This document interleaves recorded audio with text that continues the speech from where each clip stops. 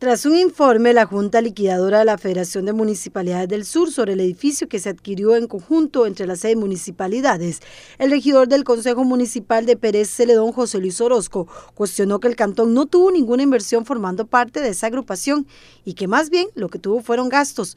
Precisamente, Orozco era parte de la federación y toma la decisión de renunciar, alegando que para pertenecer a Fedensur, la municipalidad debía pagar cuotas en un momento en el cual la situación económica y social del país y el cantón era un gasto y no una inversión. Yo debo decir que estuve en una reunión ahí, en su momento, eh, y debo decir que también rapidito me fui, renuncié, en su momento renuncié cuando salió el caso de Cochinilla y otras cosas que que salieron por ahí, que para nada si me, me convenía estar ahí y por principio renuncié.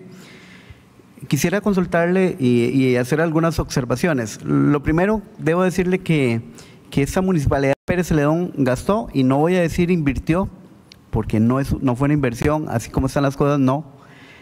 45 eh, millones en pago en cuotas, solo en cuotas.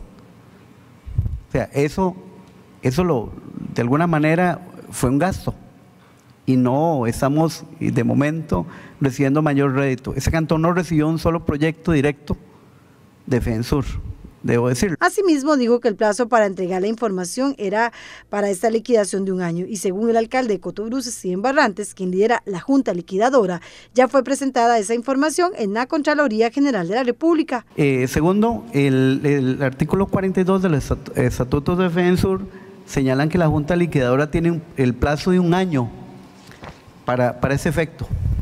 ¿Cuánto llevan ustedes eh, de, como Junta Liquidadora de conformados? De conformada la, Junta. Eh, bueno, ahí tal vez lo que hay que hacer, rescate, es que es un año para hacer la liquidación. Efectivamente, la, liquidación. La liquidación ya fue realizada ante la Contraloría General de la República en tiempo y forma. Fedensur se disolvió en el 2022.